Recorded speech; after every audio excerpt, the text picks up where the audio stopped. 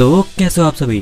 सो so guys आज के video में आप जानोगे कि रायोगा का कैरेक्टर एक गुड कैरेक्टर था या फिर एक इविल कैरेक्टर था। बेबलेट मेटल सीरीज़ के तीनों सीजन्स में हमें रायोगा के पर्सनैलिटी और बिहेवियर में काफ़ी ज़्यादा चेंजेस देखने को मिले हैं।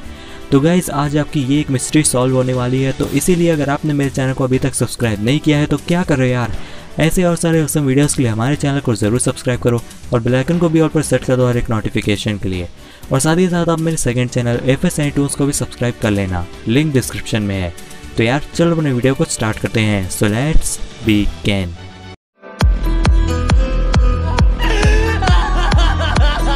मेरा नाम रायुगा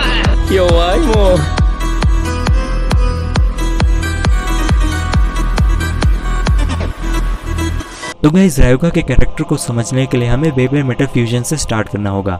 बेबलेट मेटल फ्यूजन में मेन विलन बेबलेट रायोगा ही है और उसमें दिखाया जाता है कि कोमा विलेज से जाकर रायोगा और डार्क नबीला के लोग लाइटनिंग एल ड्रैगो नाम के श्रापित बेबलेट को चुरा लेते हैं। उसके बाद लाइटनिंग एल ड्रैगो और रायोगा पर काफ़ी सारे टेस्ट करती है डार्क नबीला की टीम और उसके बाद लाइटनिंग एल ड्रैगो रायोगा को मिल जाता है। और उसके बाद जब रायोगा जाग उठता है तो उसकी बेबैटल जिंगा से होती है, जिसमें वो जिंगा को हरा देता है और उसके बाद वो ट्रेनिंग पर चला जाता है। ट्रेनिंग से लौट कर आने के बाद रायोगा बैटल ब्लेडर्स टूर्नामेंट में हिस्सा लेता है, जिसमें वो अपने हर एक अपोनेंट की हालत ख़राब कर देता है। जो भी रायोगा से बे बैटल करता है, या तो वो हॉस्पिटल पहुँच जाता है, या फिर वो बे ब्लेडिंग छोड़ ही देता है। इसीलिए यहाँ पर तो भाई रायोगा का जो कैरेक्टर है, वो एक विलन कैरेक्टर ही था। और जब फाइनल में उसकी बे बैटल जिंगा से होती है तो उसमें एल ड्रैगो रायोगा पर अपना पूरा कंट्रोल बना लेता है, जिसमें रायोगा की जान भी जा सकती थी। लेकिन जिंगा ने रायोगा को बचा लिया था। उसके बाद रायोगा उठता है और अपने बेबलेट लाइटनिंग एल ड्रैगो को उठाकर ट्रेनिंग करने चला जाता है। फिर आता है दूसरा सीज़न बेबले मेटल मास्टर्स जिसमें रायोगा की एंट्री थोड़ी लेट होती है। उसमें रायोगा सबसे पहले वॉल्केनो में जाकर ट्रेनिंग करता है और एल ड्रैगो को कंट्रोल करने में मास्टर हो जाता है। और इसमें उसके बेबलेट का नाम मीटियो एल ड्रैगो था। और इस सीज़न में रायोगा की पर्सनैलिटी में काफ़ी बड़ा चेंज हमको देखने को मिलता है। रायोगा तो वैसे पहले विलन था, लेकिन इस सीरीज़ में रायोगा ने जिंगा की काफ़ी ज़्यादा मदद करी थी। और जब उन्हें स्पाइरल कोल को रोकना था तो उसमें भी जिंगा की मदद करी थी रायोगा ने। फिर आता है तीसरा सीज़न बेबले मेटल फ्यूरी जिसमें रायोगा शुरुआत में वॉलकैनो में ट्रेनिंग कर रहा होता है और उसे ढूंढते ढूंढते पहुँच जाते हैं हमारे जिंगा और कियोया।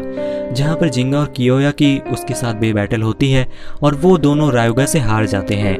उसके बाद रायोगा को जब लेजेंडरी बेब्लेडर्स के बारे में पता चलता है तो हर एक बेब्लेडर को हराने के बारे में सोचता है और फिर चल देता है वहाँ से। और इस सीरीज़ में रायोगा ने काफ़ी सारे लेजेंडरी बेब्लेडर्स को हराया है। और जब नेमेसिस की एंट्री होती है तो नेमेसिस को सीधा जाकर चैलेंज कर देता है हमारा रायोगा और नेमेसिस के साथ जो एपिक बे बैटल होती है, उसकी उसे कौन भूल सकता है?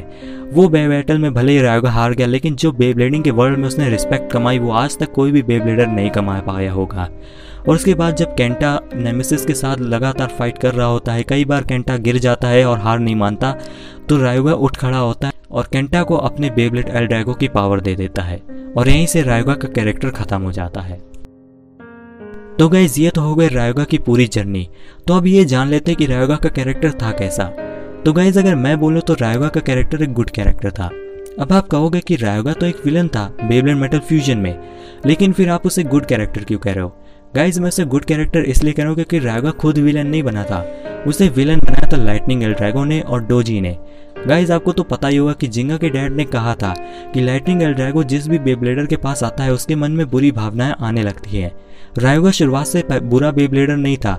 उसके मन में बुरी भावनाएँ आई क्योंकि एल ड्रैगो ने उसे कंट्रोल में कर लिया था।